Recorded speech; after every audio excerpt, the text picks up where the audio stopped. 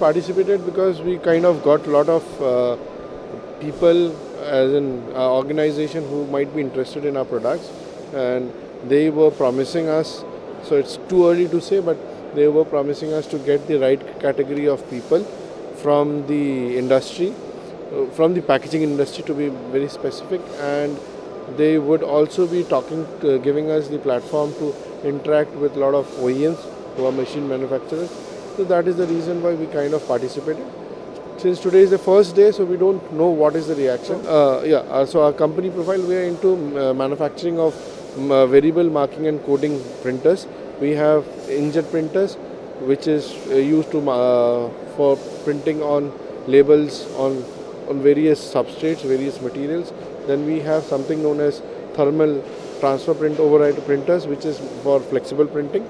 Then we have large character printers, and then we and then we have printers which can for use be used for the pharma sector, and that's known as thermal inkjet printers.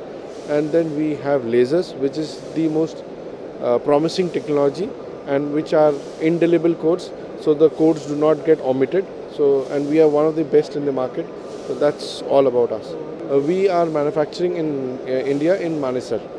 Uh, in three day, in the next three days, we want to meet more and more people from the packaging industry, from the food industry, who would need packaging solution, who would need variable marking and coding solution.